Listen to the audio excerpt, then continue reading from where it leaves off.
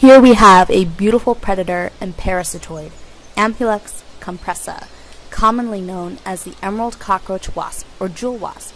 She is looking for something incredibly important, a food source for her unborn young. Adult and larval jewel wasps respond to kairomones, or visual cues associated with their prey.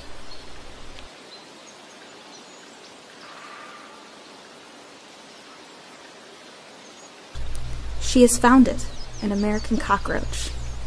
But she must be very careful, since the roach is much bigger than she is. Ampulex compressa specializes on adult cockroaches of the genus Periplaneta.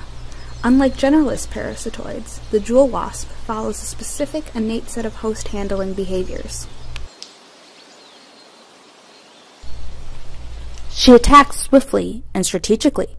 She will deliver two very specific stings, and she must get the first one right if she is to succeed. The wasp stings the cockroach in the prothoracic ganglion, delivering a dose of gamma aminobutyric acid, taurine, and beta alanine.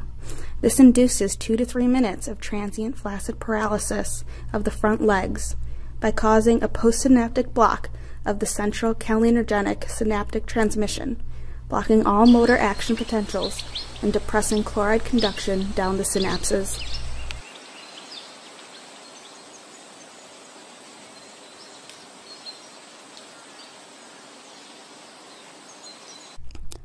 This paralysis only lasts a couple of minutes, but that is all she needs to deliver the most important sting of all right into the ventral side of the head and into the subesophageal ganglion, or SEG, of the cockroach's brain.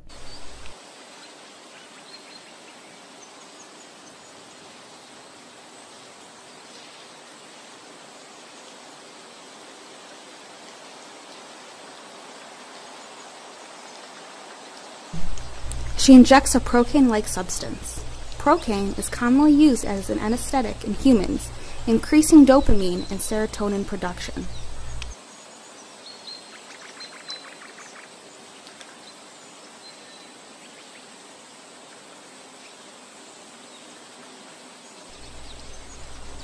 This causes the roach to compulsively clean itself and slows the roach's metabolism. This means that the roach will not use up its nutrient reserves as quickly as normal, and that the wasp larva will have a more nutrient-rich host. Having the roach clean its own body helps ensure that no bacterial infections will harm delicate wasp larvae.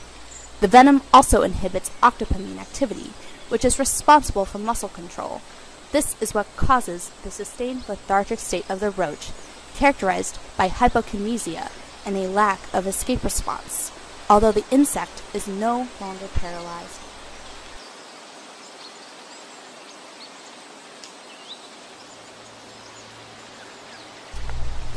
The wasp has a unique way of testing to see if she has delivered the optimal amount of venom. She snips the ends of the roach's antennae and feeds on its hemolymph to determine the venom's concentration in the roach's body. If it is too little, the roach could recover and escape before it has fulfilled its purpose. Too much and it will die and her young's food source will decay.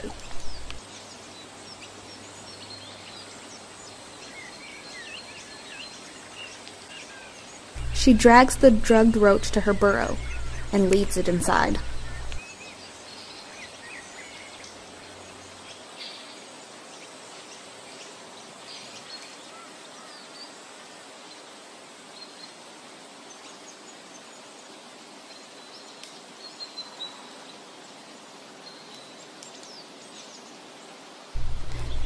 She lays a single egg on the roach's cuticle.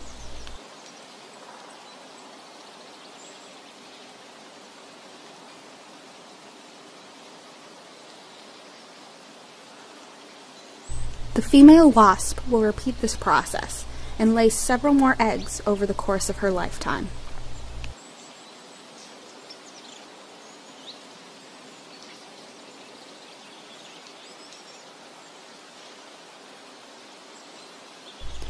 Then she barricades the entrance to ensure the roach won't be able to escape and that no other predators threaten her young.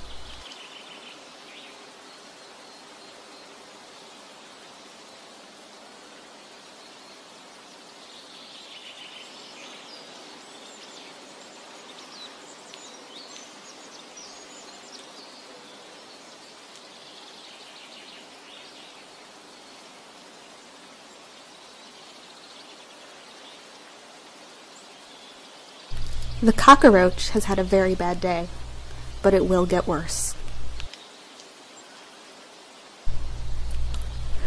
Once the wasp larva hatches, the cockroach serves as an immobilized fresh food source and microenvironment for development. Roaches live a very unsanitary lifestyle and often carry a plethora of bacteria and fungi. Predators that feed on roaches are at great risk of infection. The roach's induced grooming behavior helps begin the sanitization process of the host, but during development and metamorphosis, the wasp larva must compete with microorganisms for food.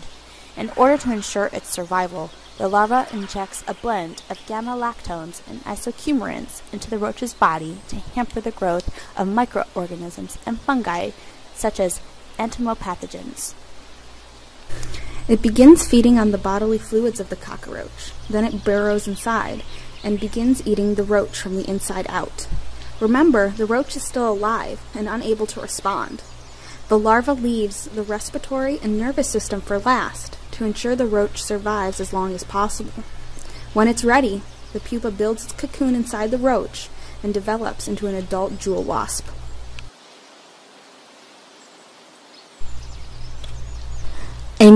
Jewel wasp emerges from the burrow, ready to begin the cycle over again, leaving behind nothing but an empty husk of a cockroach.